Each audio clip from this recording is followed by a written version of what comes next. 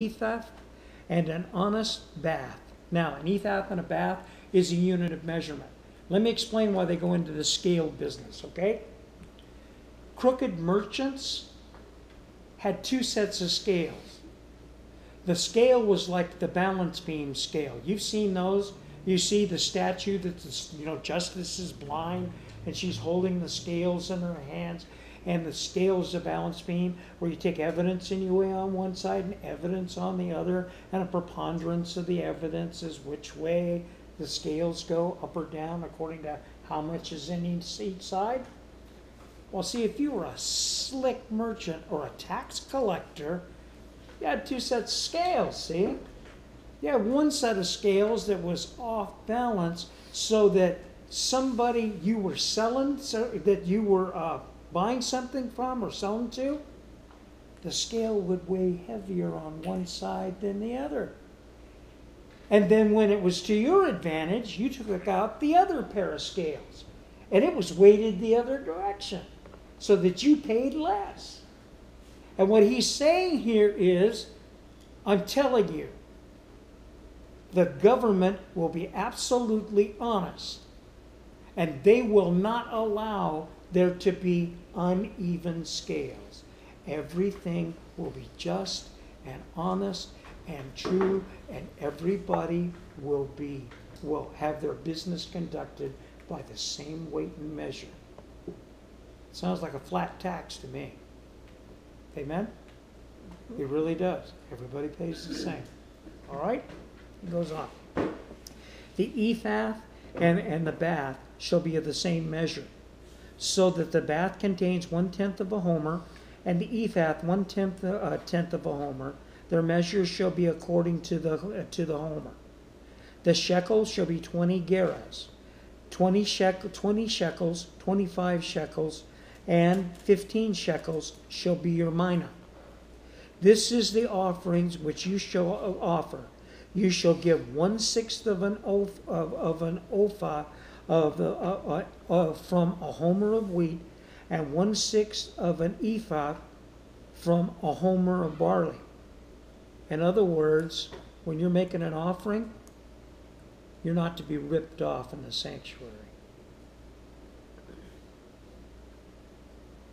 Let that one soak in. And stay away from Joel Osteen. the ordinance concerning oil and the bath of oil is one tenth of a bath from a kor. A kor is a homer and ten baths, for ten baths are a homer. And one lamb shall be given from the flock of two hundred, from the rich pastures of Israel. These shall be for grain offerings, burnt offerings, and peace offerings to make atonement for them, says the Lord God. Now, this is being said to who? Jews when you hear about only taking one lamb from 200, what story immediately comes to mind? King David. Do you remember? Nathan came to him and said, King, there's a matter that requires your attention. Remember the story? He says there was a man who only had one sheep, and he loved that sheep and he nurtured that sheep. It lived together with him and his family in his house. And a rich man was going to throw a feast for his friends. And so he went to the house of the man that only had one sheep, even though the rich man had tons of sheep. And he took the man's sheep and he killed it. And he left that family with nothing. David heard that and he was outraged. And he said, Surely that man will die. And Nathan looked at him and he said, My king, thou art the man. They had known what it was to see someone they had truly honored fail them and be corrupt. And what's being said here? What's being said is that there will be fairness from your government in the millennial kingdom. He goes on. All the people of the land shall give this offering for the prince of Israel. Then it shall be the prince's part to give burnt offerings, grain offerings, and drink offerings at the feasts, the new moons, the Sabbath, and at all the appointed seasons of the house of Israel.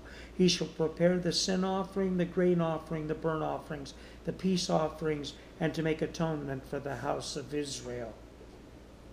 Thus says the Lord God In the first month of the first day of the month, you shall take a young bull without blemish and cleanse the sanctuary. The priest shall take some of the blood of the sin offering and put it on the doorpost of the temple and on the four corners of the ledge of the altar and on the gatepost uh, of the gate of the inner court. And so you shall shall do on the Sabbath day of, uh, of the month, on the seventh day of the month, for everyone who has sinned unintentionally or in ignorance. Thou shalt thus you shall make atonement for the temple. In the first month of the fourteenth day of the month, you shall observe Passover, a feast of seven days. Unleavened bread shall be eaten, and on the day of the uh, day the prince shall prepare himself for all the people of the land a bull for a sin offering. On the seven on the seven days of the feast he shall prepare a burnt offering to the Lord, seven bulls, seven rams without blemish, daily for seven days, and a kid of the goats daily for a sin offering. Hold that idea, daily sin offering. Now Jesus has already died the blood of bulls and goats means nothing anymore. He's looking for the light bulb to go off in the minds of the Jews, looking at Jesus and looking at them.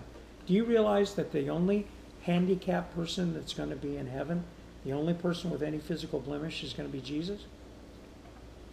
Five foot six Jewish carpenter. And the scripture says we'll know him because of the nail prints in his hands. Everybody else, we're going to have new bodies. We're all going to be completely healed. And we'll know and we'll see and we'll remember. These people will see the offerings and they will remember. And it'll bring many to salvation. And he shall prepare a grain offering of one ephah for each bull and one ephah for each ram, together with a hin of oil for each ephah in the seventh month on the fifteenth day of the month at the at the feast he shall do likewise for the seven days according to the sin offering the burnt offering and the grain offering and the offering and the oil we're on the home, stre- home stretch here 46 thus says the lord god the gateway of the inner court that faces toward the east shall be shut the six working days, but on the seventh day it shall be open, and on the day of the new moon it shall be open. The prince shall enter by way of the vestibule of the gate from the outside, and stand by the gateposts. The priest shall prepare his burnt offering and his peace offerings. He shall worship at the threshold of the gate, then he shall go out, but the gate shall not be shut until evening. And likewise, the people of the land shall worship at the entrance of the gateways before the Lord on the Sabbath and the new moons. The burnt offerings that the prince offers to the Lord on the Sabbath day shall be six lambs without blemish and a ram without blemish.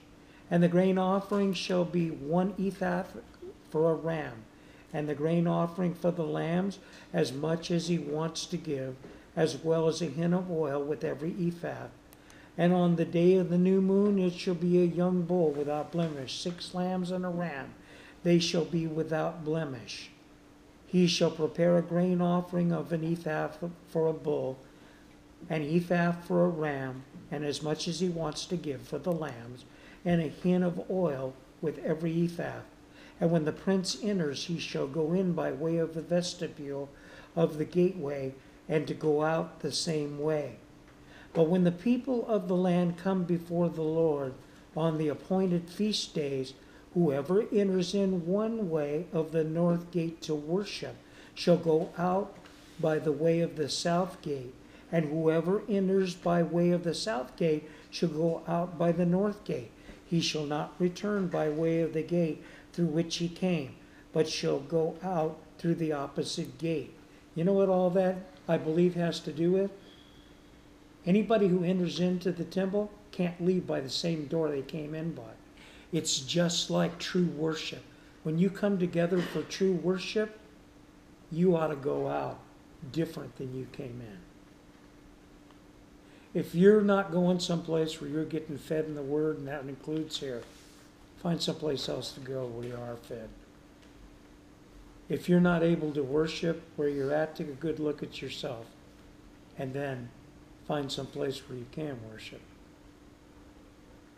You ought to, you ought to leave different than you came in. It ought to mean something. You might say that's not much of a way to build a church.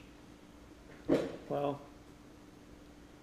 when I was in seminary, they told us all about how to build an organization.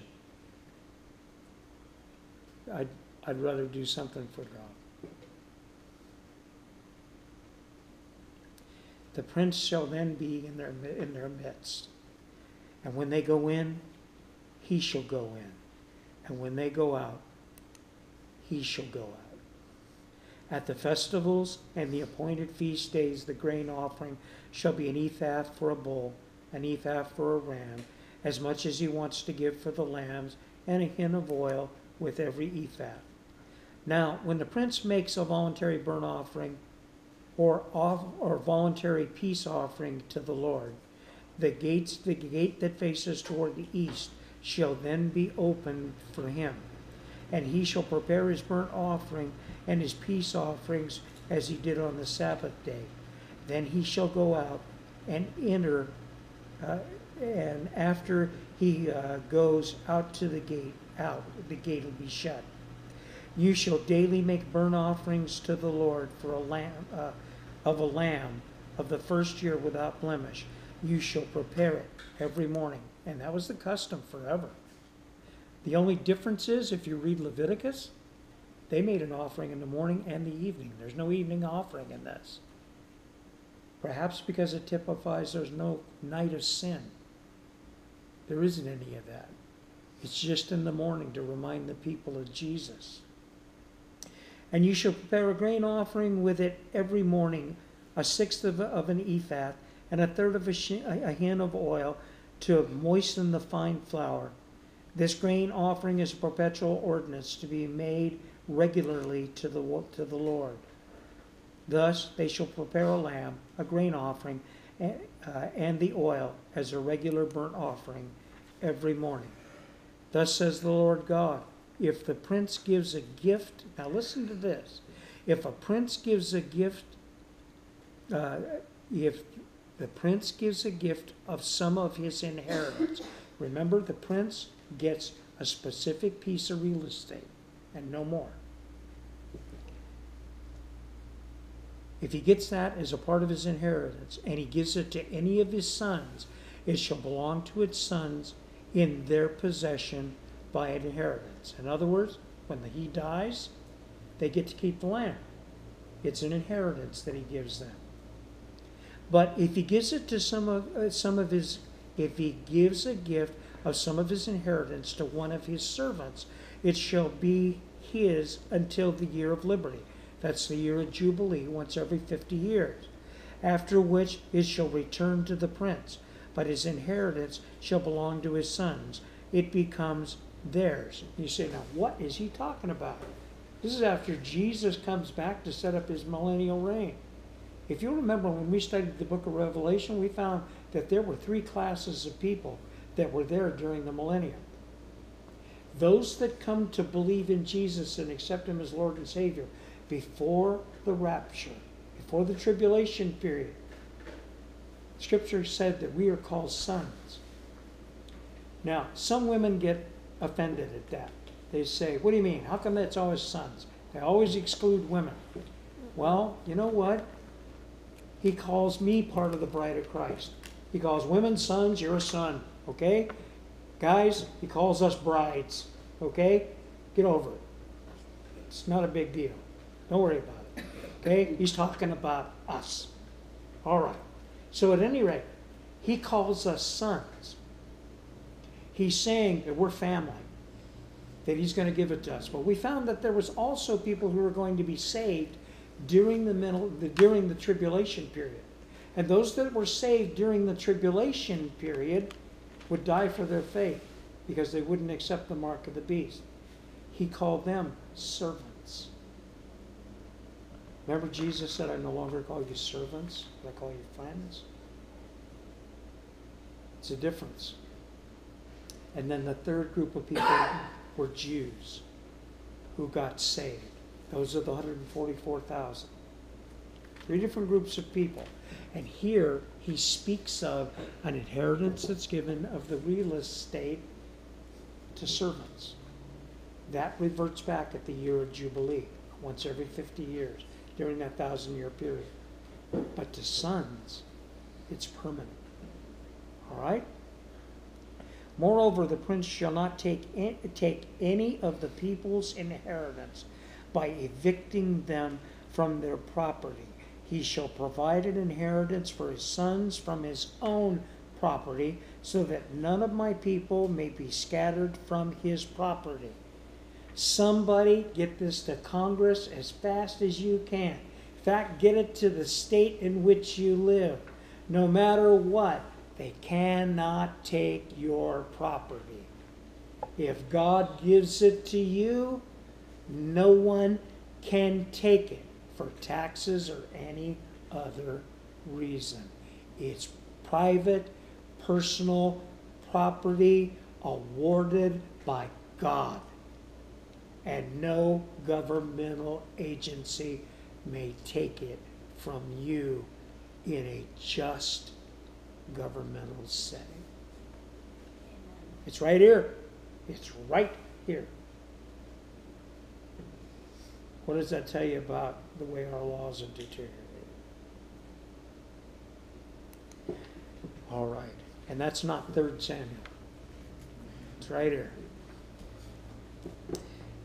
Now, he brought me through the entrance, which was at the side of the gate, into the holy chambers of the priests which faced toward the north.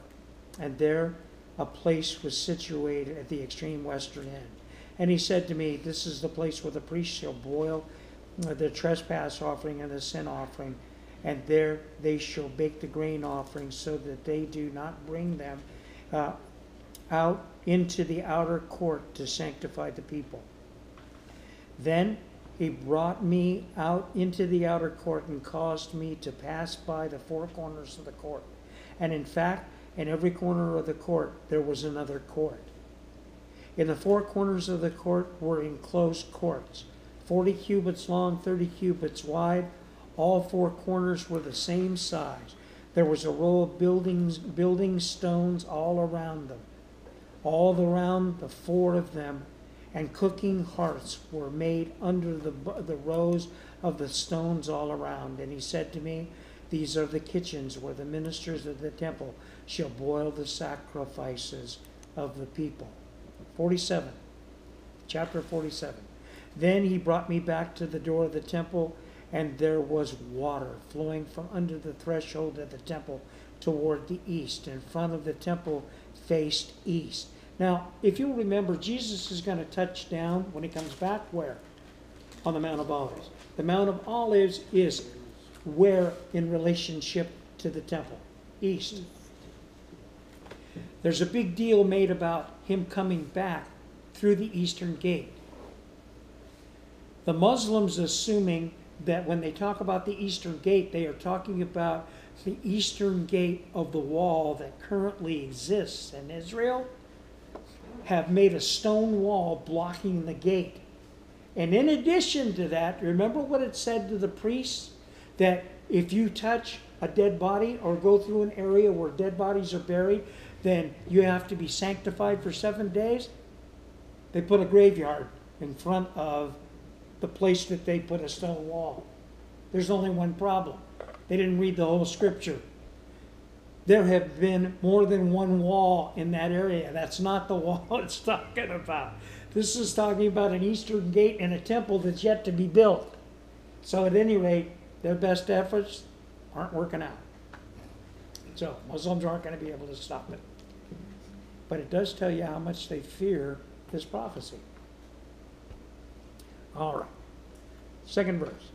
He brought me out by way of the north gate and led me around on the outside of the outer gateway that faces the east, and there was water running out on the right side.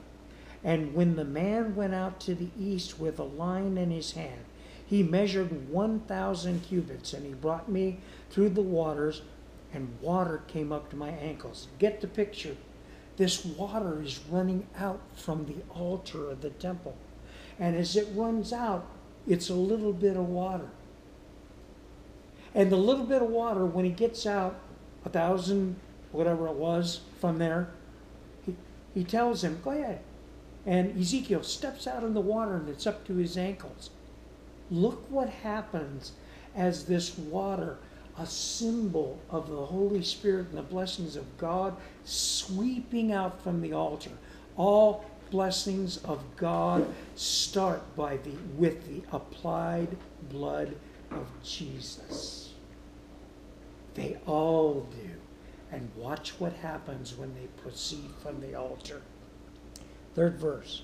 And when the man went out to the east with the line in his hand, he measured 1,000 cubits, and he brought me through the waters, and the water came up to my ankles. And again he measured 1,000 and brought me through the waters, and the water came up to my knees. And again he measured 1,000 and brought me through, and the water came up to my waist. And again he measured 1,000. It was a river that I could not cross, for the water was too deep. Water in which one must swim, a river that could not be could not be crossed. Do you know what he's saying? when you start at the altar and you're washed in the blood of Jesus, when you continue in the flow of the Holy Spirit, the blessings become so deep that they're over your head. The relationship with God becomes so deep when you made the effort to be close to Him. He says, You draw nigh to me, I'll draw, I'll draw near to you. That's what he says. And when you do, he'll flood you. It's the Word of God. He said to me, Son of man, have you seen this? And then he brought me and returned me to the bank of the river. And when I returned there along the bank of the river, were many, were very many trees on one side and the other. And he said to me, the water flows toward the eastern region, goes down into the valley and enters the sea. And when it reaches the sea, its waters are healed. How do you like that? Dead Sea is going to be healed. Right now, fish can't even live in it.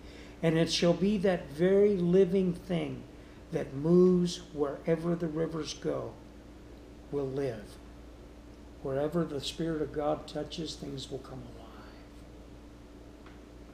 There will be a very great multitude of fish because these waters go there, for they will be healed and everything will live wherever the river goes.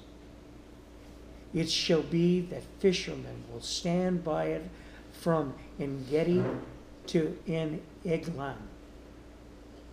They will be places for spreading their nets. Their fish will be of the same kinds as the fish in the great sea, exceedingly many.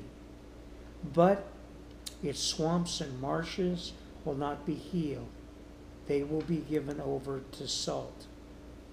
Along the bank of the river on this, on this side and that will grow all kinds of trees used for food, and their leaves will not wither, and their fruit will not fail. In other words, no picking season. They'll grow fruit, fruit year round.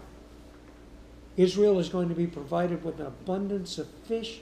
They're going to be provided with an abundance of produce, and they'll have it all the time. Listen what it says. Their fruit will be for food, and their leaves for medicine. And why is this going to happen? The sentence before, they will bear fruit every month because their water flows from the sanctuary. Because the waters the Holy Spirit will flow through them and they'll constantly bear fruit, they'll constantly be fish, and the people will constantly be provided for.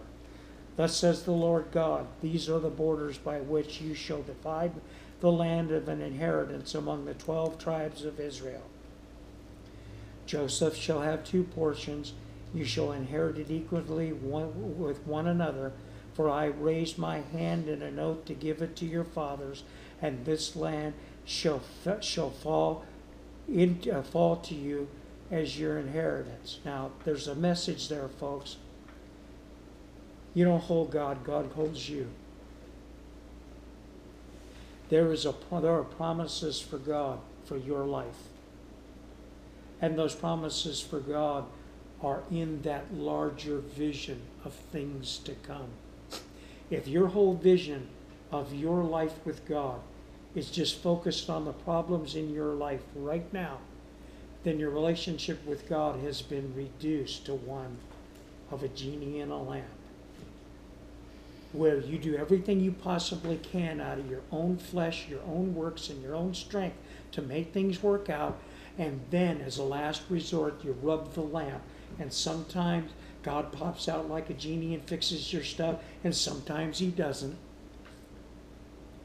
When your vision is broad and you see that His promises are real, and that no matter what trouble you find yourself in today, there are promises to you for the future.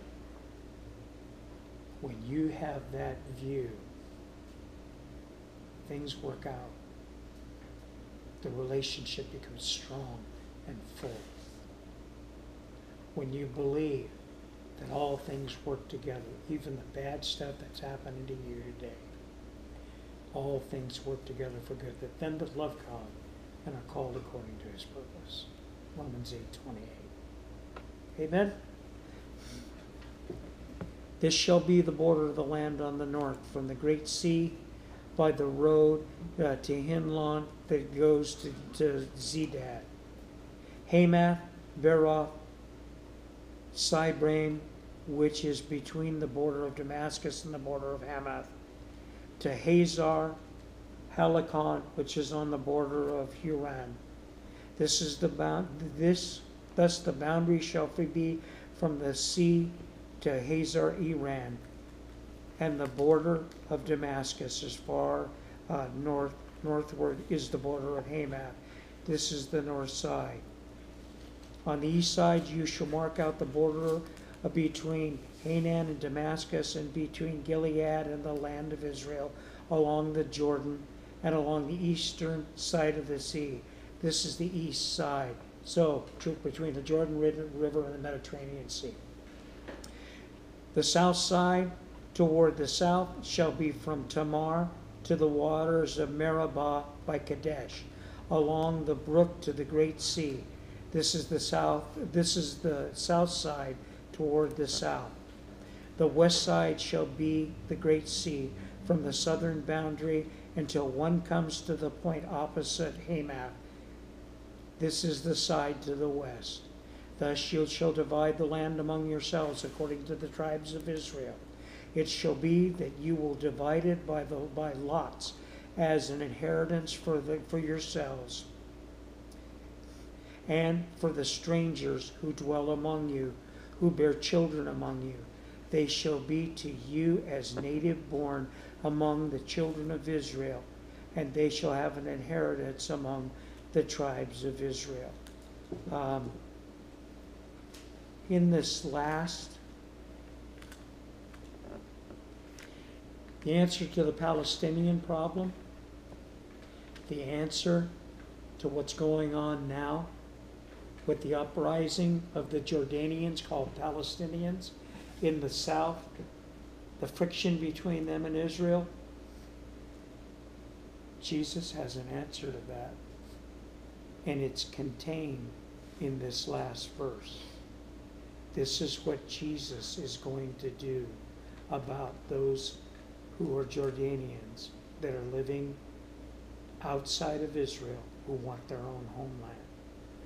Listen to the instructions that he gives to Israel. And it shall be that in whatever tribe a stranger dwells, there you will give him an inheritance, says the Lord God. In other words, under a just government, under Jesus, he will give any that are there a piece of land wherever they dwell. He will not leave them out. That's the answer to the Palestinian problem. And it's going to happen. Last chapter, he just it just describes how the land's going to be divided. Now these are the names of the tribes from the northern border along the road to Hethlon at the entrance of Hamath, to Hazar, Enan, and the borders of Damascus. Northward in the direction of Hamath, there shall be one section of Dan from its east to its west side. By the border of Dan, from the east side to the west, one, se- one section for Asher. By the border of Asher, from the east side to the west, one section for Naphtali. By the border of Naphtali, from the east side to the west, one section for Manasseh. By the border of Manasseh, from the east side to the west, one section for Ephraim.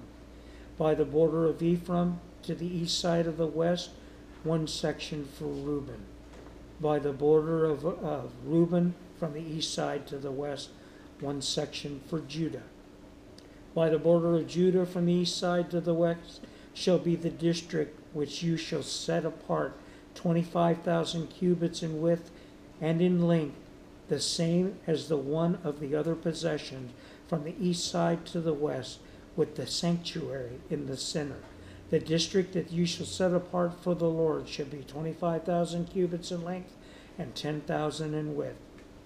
To these, to the priests, to the holy district shall belong on the north twenty-five thousand cubits in length, on the west ten thousand in width, to the east ten thousand in width, and on the south twenty-five thousand in length. The sanctuary of the Lord shall be in the center, and it shall be for the priests and the sons of Zadok who are sanctified, who have kept my charge, who did not go astray when the children of Israel went astray, as the Levites went astray. And this district of land is set apart, shall be to them a thing most holy by the border of the Levites. Opposite the border of the priest, the Levites shall have an area 25,000 cubits in length and 10,000 in width. Its entire length shall be 25,000 and its width 10,000. And they shall not sell or exchange any of it, and they may not alienate the best part of the land, for it is holy to the Lord. The 5,000 cubits in width that remain along the edge of the 25,000 shall be for general use by the city, for dwellings in common land, and the city shall be in the center. These shall be its measurements on the north side, 4,500 cubits, the south side, 4,500, on the east side, 4,500, and on